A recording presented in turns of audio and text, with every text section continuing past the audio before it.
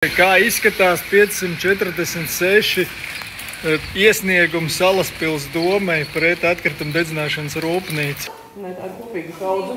Mums ir divas, mums ir kopējais saraksts. Lūdzu, te ir kopējais iesniegums. Līdz 12. naktī pārbaudījām.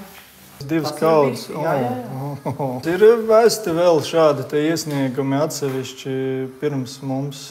Ļoti daudz saka. Oh. Un cik bija aptuveni elektroniski iesniegti? Kurš jums domē atbild par šo jautājumu? Vārds, uzvārds, eh, kurš? Tātad domas priekšsēdētājiem personīgi. Mums būs jājautā, cik iesniegumi ir iesniegti. Daudz, daudz iesniegumu. Bija kādi precedenti iepriekš, kad iedzīvotāji bija tik ļoti aktīvi? Nav. Šis ir, šis ir tiešām, kuriem ir piesaistās aktīvi, iepriekš tik aktīvi, nu, nav. Vēlāk mēs eh, obligāti noskaidrosim, cik iesniegumu kopā ir iesniegti. Laspīlī nesot nekādas aktivitātes, ka cilvēki tā kā izskatās, ka piekrīt un tam līdzīgi.